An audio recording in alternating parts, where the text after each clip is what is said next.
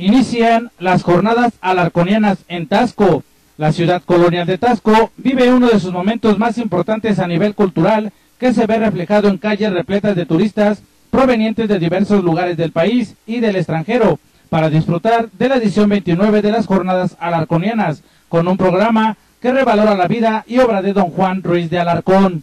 Toda la información en la edición impresa. En unos instantes más ya estará a la venta la edición impresa de hoy.